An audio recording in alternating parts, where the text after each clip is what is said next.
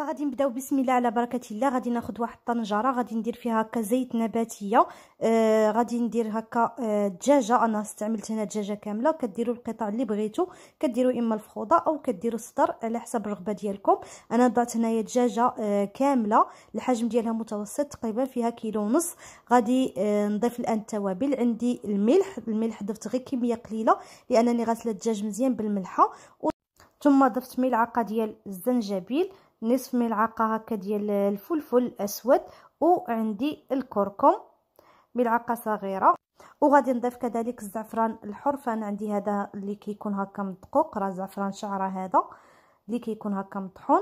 صافي هذه هي التوابل اللي عندنا. وغادي نضيف كذلك ملعقة صغيرة ديال السمن وواحد العويد هكا ديال القرفة. فغادي نستعمل مدقوقة كذلك وكيف ما غاديش نضيفها الآن. فاستعملت في الأول هكا واحد العويد ديال القرفة وضفت هنايا المعدنوس غير المعدنوس ماشي القزبر اللي هكا مدقوق القياس ديال واحد زوج معالق وغادي نضيف البصل. البصل عندنا طبعا هكا كيكون بالزايد لأنه هو اللي غادي يعطينا ديك ديك التغميرة. وبالنسبة اللي بغى الكمية ديال البصل هكا بالغرام فاستعملت كيلو إلا ربع ديال البصل.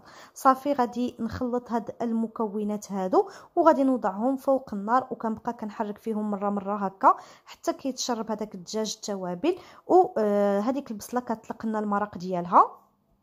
وبالنسبة للنار كديروا على نار مهيلة باش هكا البصلة كيف ما كتشوفوا هانتوما راه بدات كتطلق هذاك المرق ديالها ما ضفتش نهائيا الماء. غير البصلة كتطلق هذاك المرق. صافي وغادي نضيف الآن آه واحد الكأس ديال الماء. هو كأس صغير ديال الماء هو فاش غادي يطيب الدجاج ديالنا وغادي نخليه هكا على نار مهيلة حتى كيطيب. وبعد ما طاب الدجاج ديالنا فما كياخذش مدة طويلة. نتوما عارفين بأن الدجاج في الساعة كيطيب. غادي نحيدو هذوك القطع ديال الدجاج. هانتوما بهذا الشكل هذا كتاكدوا بأنه طايب. صافي وكتحيدوه. وبالنسبة للدجاج وبالنسبة للمرق عفوا فهانتوما راه ما ضفتلوش نهائيا الماء. ضفنا غير داك الكاس الصغير وفي الأخير هانتوما كتبقى عندنا هكا ديك المرقة واقفة ماشي كيكون الدجاج هكا غاطس في الماء وهنايا غادي نحيد حتى داك العويد ديال القرفة. كيف ما قلت لكم ما كيبقاش الدجاج ديالنا هكا غاطس في الماء وفي التالي حتى هذيك هذاك المرق كيخصنا هكا بزاف ديال الوقت يعني فوق النار باش كيتشرب آه باش كيتشرب باش كنضيفوا له البيض. كيف ما كتشوفوا هنايا مباشرة المرق بقى عندي هكا خاتر غادي نضيف له واحد الملعقة ديال الزبدة وغادي نضيف له كذلك ملعقة صغيرة هكا ديال القرفة اللي مدقوقة. وغادي نضيف كذلك السكر. بالنسبة للسكر أنا غادي نضيف غير الكمية ديال جوج معالق اللي كيبغي طبعا الحلاوة فتقدروا ديروا حتى حتى لنصف كأس هكا ديال السكر. طبعا أو أكثر على حسب الذوق ديالكم نتوما غير هي أنا ما كنبغيش هكا داك السكر يجي مجهد يعني ويغلب لنا على المذاقات ديال على المذاق ديال الدجاج. وحتى البسطيله كتجي كتقهم يعني بسرعة كتاكلوا منها غير شي شوية وكتقهمكم. فأنا ضفت غير كمية هكا قليلة ديال السكر. ضفت جوج معالق كيف ما شفتوا وكنخليو في هذه المرحلة هذه المرق على نار اللي كتكون هكا مجهدة ومع التحريك المستمر حتى كتعقد ديك المرقة كيف ما كتلاحظوا وكتبقى هكا واقفة. ودابا غادي نقوم بإضافة البيض فعندي هاد الكمية هذه غادي نضيف لها خمسة ديال الحبات ديال البيض. والبيض كيبقى على حسب الحجم ديالو مهم حتى كتجمع معنا هاد هاد المريقه هذه فكيف ما كتشوفوا كنضيفوا حبة بحبة وحنا كنخلطوا والنار في هذه المرحلة هذه كتكون مجهدة والتحريك كيكون هكا مستمر.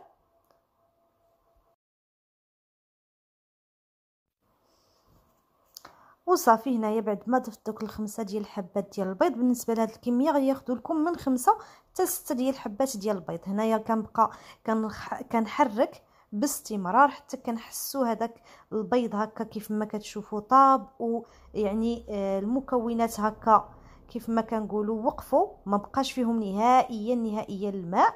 هانتوما راني قربت لكم هنايا. ودابا غادي نوضعها هكا في واحد المصفات باش كتستقطر هذيك الزيت ديال هاد المرحلة اختياريه بغيتو ديروها ديروها. بغيتو ما ديروهاش فما ديروهاش. كيف ما كتشوفوا هنا خديت القطع ديال الدجاج. غادي نبدأ كنفرتو في هذاك الدجاج بهذا الشكل هذا القطع صغيرة.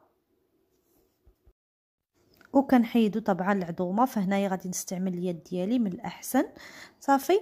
بعد ما فرتنا الدجاج بهذا الشكل هذا غادي ندوزو الآن باش نحضروا اللوز.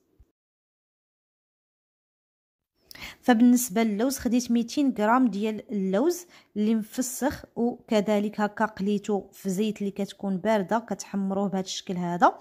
غادي نوضعوا الآن هكا في الهاشوار وغادي آه نهرمشو بهذه الطريقة هذه فهنا مازال غادي نزيد نطحنو شي شوية. فما كنطحنوش كنخليوه هكا شي شوية مهرمش باش كيبقى باين هكا في البسطيلة. هنايا ضفت كيف ما كتشوفوا ملعقة صغيرة ديال القرفة وغادي نضيف القياس ديال واحد جوج معالق كبار من السكر الثقيل. وطبعا السكر دائما كيف ما قلت لكم على حسب الذوق ديالكم. وغادي نضيف القليل هكا من ماء الزهر. القياس ديال واحد زوج معالق. وغادي ناخذ الآن هذاك العقدة ديال البصلة مع آه، مع البيض وكنضيف هذيك الزيت هكا اللي كتستقطر.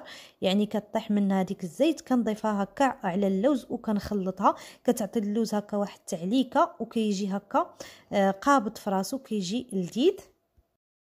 صافي وهي المكونات ديالنا واجدة كيف ما كتشوفوا. غادي ندوزو الآن باش نمونطيب هكا البسيطلات ديالنا فتقدروا ديروا بسطيلة طبعا اللي الحجم ديالها كبير أو ديروا هكا صغيورين. فبالنسبة للورقة اللي غادي نستعمل أنا غادي نستعمل الورقة ديال الفيلو تقدروا تستعملوا الورقة ديال البسطيلة. غير هو اللي زوين في الورقة ديال الفيلو آه أنها يعني كتبقى مقرمشة مدة طويلة واخا كتبقى معكم هكا البسطيلة في الثلاجه ملي كتسخنوها كتولي يعني كتبقى مقرمشة وكتجي زوينة بزاف. فكيف ما كتشوفوا هنايا غادي نقطع آه الورقة ديالي القسمين. وبالنسبه اللي خايب هكا في الورقة ديال الفيلو أنها كتكون حساسة وكتنشف بسرعة. فهنا قسمتها لقسمين وغادي نولي نقسمها هكا. ربعة ثم يعني هكا ربعة ديال القطع بهذا الشكل هذا. وأنتم طبعا راه على حسب الورقة اللي غادي ت... اللي غادي تخدموا بها وعلى حساب الورقة اللي غادي تخدموا بها فغادي نولي نجمع هذيك الورقة ديال الفيلو هكا باش ما كتنشفليش. وحتى بالنسبة للقطع الأخرى فكنوليو هكا كنغطيوها بشي بلاستيك. وغادي ناخذ هكا ثلاثة ديال القطع. وغادي ناخذ هكا واحد الإطار فاش غادي نمونطي البسيطلات ديالي. فكدهنوا هكا الورقة ديالكم مزيان بالزبدة. وغادي نولي نوضع هكا قطعة أخرى كتكون هكا مخالفة مع القطعة الأولى.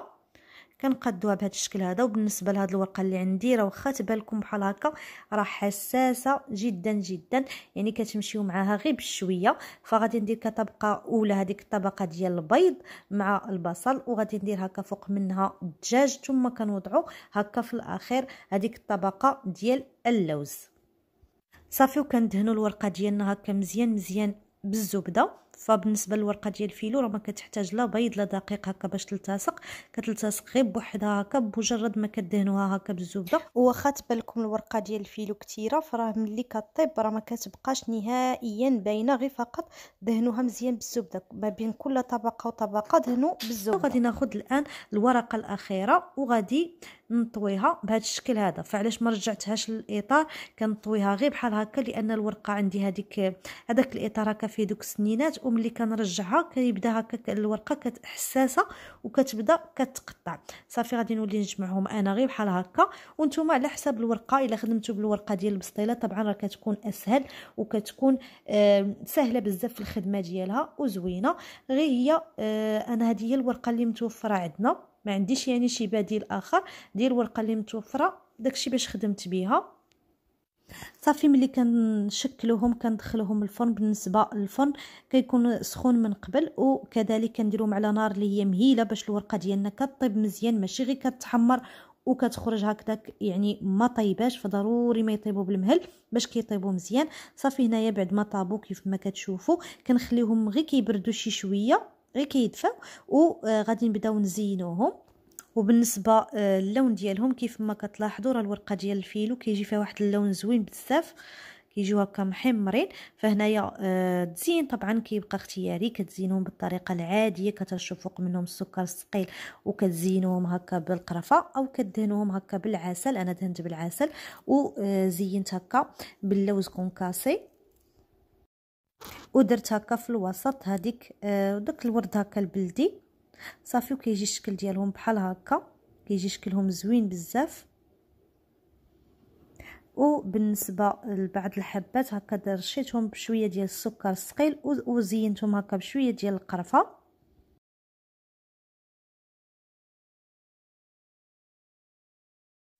وكيكون هذا هو الشكل ديال البسيطلات ديالنا بعد ما آه زينتهم وساليت كيجيو رائعين.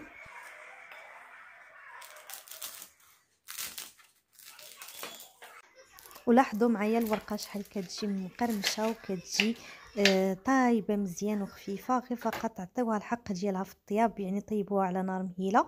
هو الشكل ديالهم من الداخل واخا كانت كتبان الورقة هانتوما كثيره راه ملي كطيب ورقة ديال الفيلو راه كت يعني كتولي بحال هكا كتولي ما بايناش نهائيا. فوصلنا لنهاية الفيديو نتمنى أن البسيطلات ينالوا الإعجاب ديالكم جاو رائعين في الطعم ديالهم ولذاذين. ووصلنا لنهاية الفيديو نتلاقاو في فيديو قادم مع وصفة أخرى. دمتم في أمان الله وحفظه والسلام عليكم ورحمة الله.